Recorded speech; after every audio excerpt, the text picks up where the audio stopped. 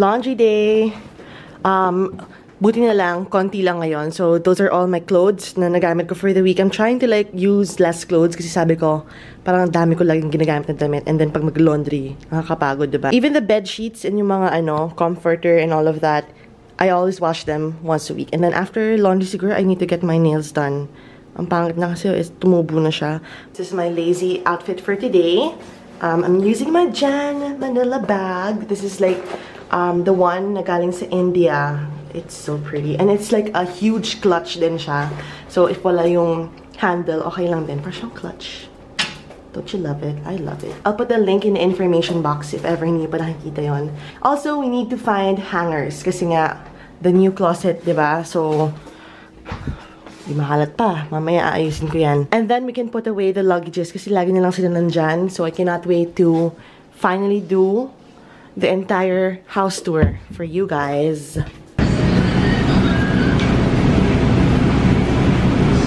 Medyo naayos ko na yung bedroom, maayos na yung kama, freshly laundered sheets. Hindi ko pa naayos kasi ang dami-daming stuff, pero so far, okay, this is totally not organized. Sinaksa ko lang dyan lahat, pero tinupi ko naman ng bongga. Kasi gusto ko when I organize everything, gusto ko kasama na yung mga clothes dito, tsaka sa kabilang room. And then this one, wala, ganun lang. At least, nasa loob na sila.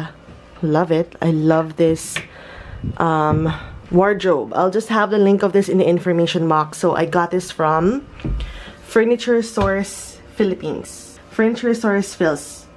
They have Instagram, they have a website, and then, by the way, this is an IKEA piece. So, madami silang mga IKEA, mga table. I, I do have a table, yung table ng TV from IKEA, from the same um, company. Going to hang out with friends again tonight, and this is my outfit. This is from Forever 21.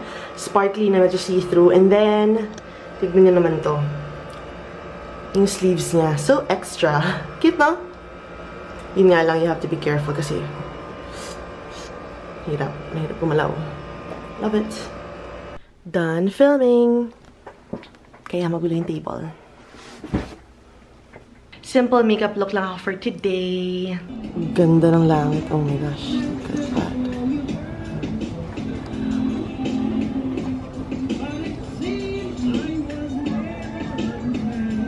Hi everyone! Welcome back to another vlog. So I know, I know, I know, sobrang tagal kong hindi nag-vlog. I've just been not myself the past couple of weeks.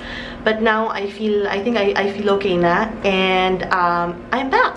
So I'm gonna fill you guys in kung ano mga nangyari the past few days. So dumating na yung closet ko from Furniture Source Philippines. And I'm so happy kasi it's a three-door wardrobe and finally may bahay na rin yung mga clothes ko. Ang kailangan ko na lang is a bunch of hangers. Bibili ako sa Daiso kasi doon yung may mga magandang um, hangers. And, then after that, pag na-organize ko na lahat, I'll be able to do the bedroom tour na and then basically the house tour kasi I've ha I haven't really done that yet kasi nga missing pieces pa and even the balcony kulang pa. I'm gonna be getting the plants na I think tomorrow. Maybe, maybe tomorrow, we'll see. And then, ang dami-dami nagtatanong every time I post um, Instagram stories, like yung mga quotes na pinopost ko. It all, or all those, came from this book, Don't Sweat the Small Stuff. It's by the author, Richard Carlson, and I got this from, I think, the book sale. Tama, book sale. Pero meron sa National Bookstore. You can, ay, hindi! Mali! Hindi pala book sale. National Bookstore, 375 pesos. Hindi ko lang sure kung same pa rin yung presyo niya Kaka-post ko lang ng OOTD which explains this thing going on. Naka-off shoulder ko kanina. Anyway, um, I'll be filming a bunch of videos today.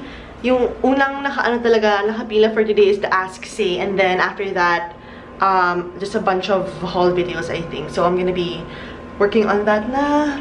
This is a Christmas gift from my PNG family. So they sent over a bunch of goodies. Thank you so much, Janella, Jess, and Anna. So lahat to ginagamit ko except for the diapers, of course. So they sent over the Pampers. Sinong kailangan ng Pampers, sabihin niyo lang. I'll give it to you.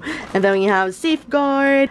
We have, of course, the Pantene shampoo. We have Safeguard body wash. Ito ginagamit ko ng to girl. Joy Complete Lemon dishwashing liquid mas maliit na safeguard. Of course, yung conditioner, Silky Smooth Care. And then, ito, ginagamit ko rin. As in, lahat to ginagamit ko, girl. Downy, but itong Ariel, favorite ko to whenever I do laundry. The Power Gel one, grabe, sobrang galing. Kahit konti lang, bongga siya. Then my Head and Shoulders tayo, yung bago nila. That's it. Thank you, P&G. Tignan niyo yung kangkong. Tumubo na siya. Ang ganda. Ang dami. Mo planted like a bunch of seeds. Yung iba patubo pa lang. Love it. And then every morning, guys, I just use my Roku-powered Globe Stream watch. Ito yun, oh. Papakita ko sa inyo. There. May USB sa likod. So, ito yung Roku-powered na parang device. So, you just plug it in your television and then nakasaksak siya. That's it. And then in here, you get to see um, Netflix, YouTube. Ito kong sa remote, may shortcut na siya agad ng ayan, oh, YouTube, Netflix, Disney, and Hook ba yan?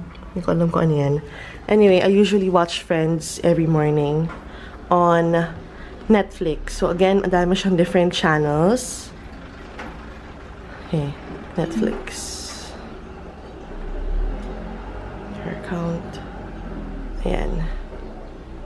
Friends. Sobrang convenient niya. Love it. Although I've seen all of the episodes na here. I really But I just love watching Friends talaga. Every day. Oh, I'm not doing Anyway, guys, tomorrow I have two Facebook live sessions with Lazada and with Elana um, Mineral Makeup. So yung Lazada, I'll be there with Wifey. So we're gonna be live at the Lazada office. And then I'll just share the links lang in the information box para mapanood nyo. And then for the Ilana Makeup naman, that's gonna be at 3 p.m. So I'll just have all the schedule down in the information box para hindi siya ma-miss. So again, that's gonna be tomorrow. I haven't shown this pala to you guys, but my cousin, Ati Jenjen, gave me something. It's a Michael Kors um, pouch. Thank you, Ate Jen. I love it. Black and gold. Oh, ganda. I love it. Ang ganda sobra. Thank you. May dumating na package from Vice Cosmetics again. Super favorite. This is called the Golden Pork Floss from Eng Super sarap as. Dala ni Mo. So good. The best. Meron siyang mahu sa loob. Yum. And then Maybelline sent over something new, pero hindi ko pa siya i-review. Tomorrow we'll, uh, we'll be swatching this together with Wifey at the Lazada office. Ayan. Tapos thank you to um, Esprit for sending over this planner yata to. Love it. Thank you. There. Charcoal latte ng dulo Manila. Ang cute! Love it. Parang ayaw mong inumin kasi ang ganda niya. So, ito yung bow ng uh, dulo. I got the Pork belly. pork belly and Mo got the uh, mushroom, shiitake mushrooms. Looks yummy. Ang tagal namin gusto i-try ito. Oh my gosh. Yum! Squid, no? Squid? Or octopus? Octopus. Ito yung isa pang favorite namin. The octopus with uni. So good. The favorite of ours, yung um, udon with the egg and the scallions. Ito yung sinasabi nilang clam miso soup na super sarap daw.